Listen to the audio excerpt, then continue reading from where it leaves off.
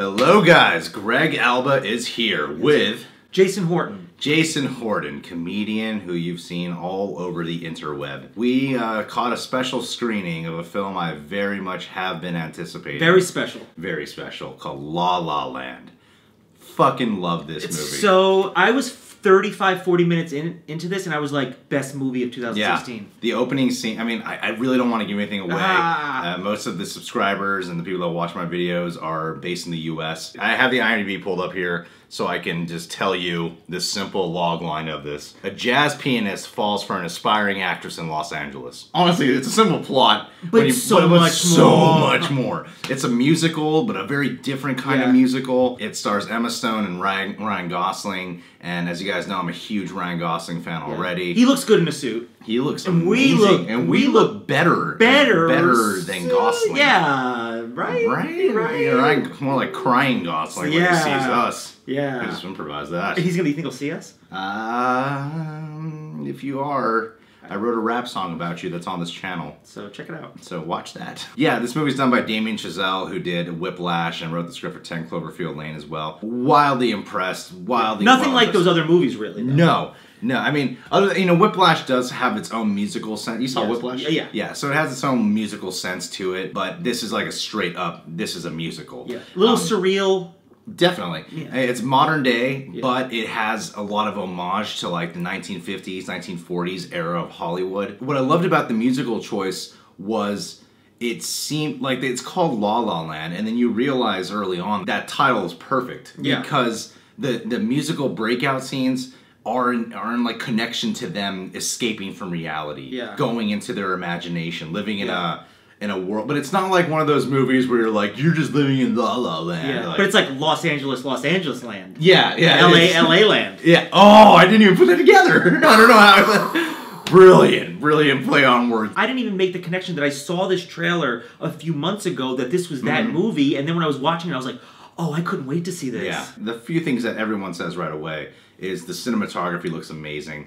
And yeah, absolutely. The way they play with lighting and the way they play with the, the, the way everything's structured, the storyboards, very stylistic but engrossing. It's not like you're watching some guy just play with his toys. You're watching a guy who's really carefully crafting a masterpiece together where it like it really adds to the experience of it. It's not just like, oh, this is cool to look at. It's engrossing and it, it really tugs at the heart. It is like uh, an homage to motion picture and jazz music at the same time. Yep. It really is a moving picture. You know, movies are moving pictures. And living it in Los Angeles, even though we just left Los Angeles Yeah. and we're, we're here in Zurich, like I was like, I, I miss LA a little bit. Yeah, it yeah. made me like miss it. Yeah, it made me appreciate LA Yeah. even more because when you live in LA, it's easy to get caught up in how kind of like dirty it can feel and Yeah. how icky the you know Hollywood can sort of feel itself. Sleazy a little bit. Yeah, but it does it does bring you back to that vibe of like there is a beauty to it. Magic. There, yeah, there is a magic to it. So yeah, and the musical numbers are fantastic. Personally, I'm not the biggest musical guy. I, I don't really go out of my way You to don't watch have to be, I musicals. think, I really don't think you do. No. It doesn't feel like you're watching a musical Yeah. because the music numbers are so like pertinent and they relate so much to the mm-hmm. characters that it's just a part of the scene it's just a part of the dialogue that you, you, you find yourself having a big smile on your face the first number that ryan gosling ryan gosling sings in this movie Yeah. he, he sings in it and he, it's really him playing the piano and the first number that they have together is so magical like that chemistry that we saw in crazy stupid love is even a million times more amplified here in this relationship that they develop Just saying all the right. I mean, that's what movies are. They're saying the right things at the right Yeah. time. But I feel like it's not. It's not forced. I really feel like they're having a conversation, as as crazy and magical as it is. And it's it's weird because this film could have easily fallen under cliche territory, but it never does. No. It is a magical experience. Emma Stone blew me away. She's fantastic. We, were- we were talking about like I was saying like she's not a, like a super like traditional hot sexy No. whatever, but she's like you you said relatable. and they use that to her, uh, Yeah. like to her character. Yeah. There's a scene where she's having like a breakdown where she's talking about like she goes to auditions Mm-hmm. and someone's like either prettier than her or looks like her but is you know a better looking version of her and stuff. And I, I know you know like we know plenty of actresses back in LA. Yeah. And yeah, it is just like that where you go into an audition room and like everyone looks the same. yeah. but her performance in it was like I was expecting Ryan Gosling to kick ass as always, and he does. He he is fantastic in this film. He gets to show off even more set of skills. And before I saw this movie, I read one review somewhere else because it doesn't come out in the states till like December. But I read one review somewhere else where they said Ryan Gosling's role could have been played by almost any other guy. I Mm, no don't way. agree with that at all. No way. He really made it his own, his, Yeah. his own unique touch. No one else in Hollywood has that chemistry with Emma Stone like he does. I, I did re- read also that I think Miles originally Miles Teller and Emma Watson Oh. were originally cast Oh. because after I watched the movie, of course, I go and I do Yeah, all the, I look it all up,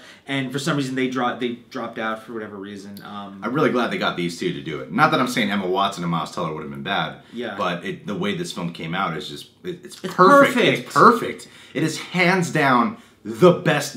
Ryan Gosling has starred in two of the best movies of this year. Yeah. And by far, by like there is and he's no different in both of them, like completely different. Yeah, you still get Ryan Gosling in both, but you Yeah. get two different versions of Because. Ryan Gosling's not the kind of actor who usually like changes up his voice. Yeah. But he does change up like his demeanor. He does Yeah. change up the emotional state of the character. Like it's more. It, it it reminds me of more old school actors like Pacino and De Niro, where maybe they didn't like change their voice all the time or Yeah. change the way they walk and shit all the time, but they're still playing a completely different kind of person.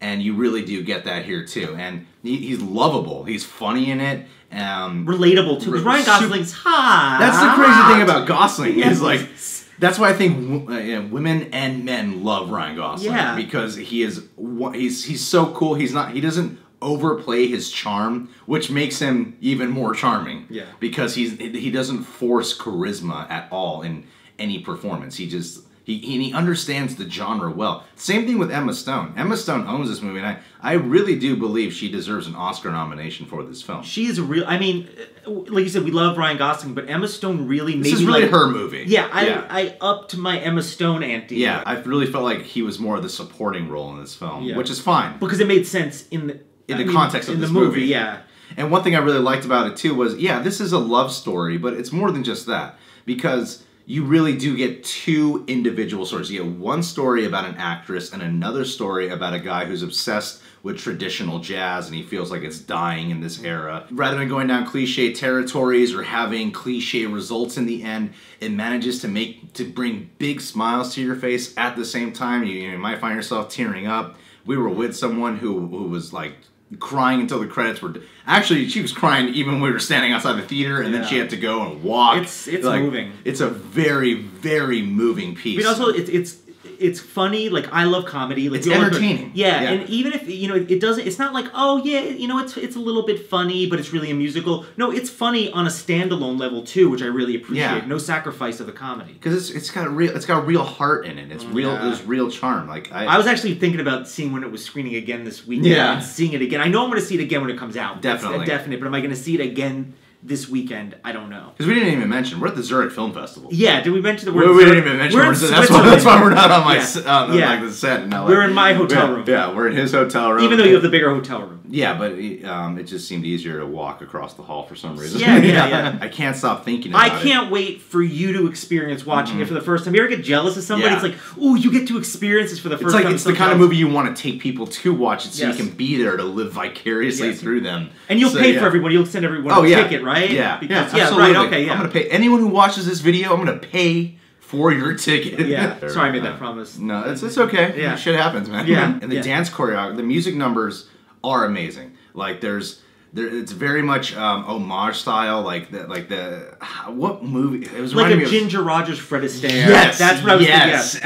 absolutely. That's the per. You nailed it. Yes. And especially that open. Go on Wikipedia and look them up if you're wondering who those people Yeah. are. Because I barely know. You know what I mean? I, I know. You don't have to though. Like, Yeah. You're just watching the dance numbers and you just can't help but smile at how like great the magic is in there. Yeah. The music's amazing. Um, some of it is not, you know, completely original, but a lot of it is original. Like the song that you hear in a lot of the trailers. Mm-hmm. Um, it's it, like now when I hear like we watched the trailer before filming this, Yeah. and now you hear that song, just like Oh, it's Oh, so. that just hits your heart, Yeah. man. Like it's such a meaningful song. I, I think that song should win like best um, uh, best original Yeah. song at the Oscar. Like this is an Oscar contender for sure. Absolutely. I'm not a big Oscar kind of guy, like Academy Awards and anything, but this is one of those films where I'm like, I'm really hoping this gets huge Oscar recognition because it deserves it. It's it's a masterpiece in my opinion. I would say though, like you know, I do a lot of dating stuff on my channel and whatever. But I was like, if you want to take a date to this movie, I think this is a really Yeah. great date movie. Oh, yeah. you guys are gonna be hopefully hooking up This after is this the movie. ultimate movie, dude. Yeah, This yeah. is so good. This is the one. You gotta wait till December though. yeah, and it's PG thirteen as well, and yeah, and, and Yeah. like you could, it's a good date movie, it's a good family movie. Anyone could. Go by watch it. yourself? You could go by anyone could watch it. Anyone. Um, yeah, Damien Chazelle. Like, if you thought Whiplash was great, that Yeah. Mm-hmm. was that's still a more specific kind of audience. It's an R rated film. It's much darker, A little more intense, and that's Yeah. definitely. This film has a whole different kind of tone, a whole different kind of emotion, and you know, like I'm trying to come up with criticisms to this, and I, I can't help but say, It does. like, I mean, it's it's slow. Like maybe the second act kind of it slows down a little bit because there's but it things- has to. It has to. Yeah. Yeah, There's yeah. no. It wouldn't be a movie if it just kept going at that. Yeah, speed. because like the first half, you're just you just have a big smile on your face. Yeah. You just can't help but like have this like gentle smile. Like, Yeah. I'm really enjoying this. Yeah. But then you know, of course, a film like a real film is gonna go through some dramatic territory. So when it starts going there, it does start feeling a little slower, sure. But you need it. But you need it in order for the um, other emotional impact Mm. to be there. And, and for the love to still be resonant there. So yeah, I thought this was a masterpiece. Um, uh, if I, I make up a rating Okay. every time I do a video, Okay. uh, I'll give you a consensus. Yeah. I got high from getting Emma stoned off this movie. Oh, Oh, boom. boom! Bump the fisty Jason Horty. Uh, well, how about uh, man? I was crying for Ryan Gosling. so yeah, go watch the movie when it Yeah. comes out. Um, when it when it's actually comes out, I will be doing a spoiler review.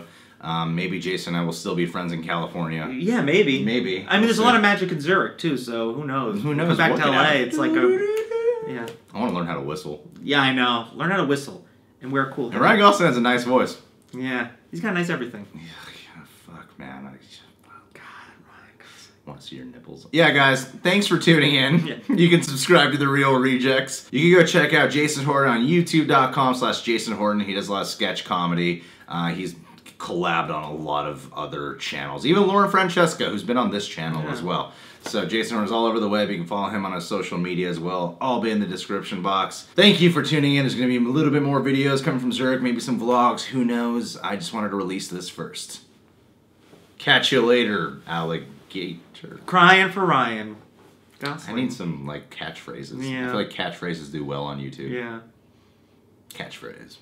yeah, that's good.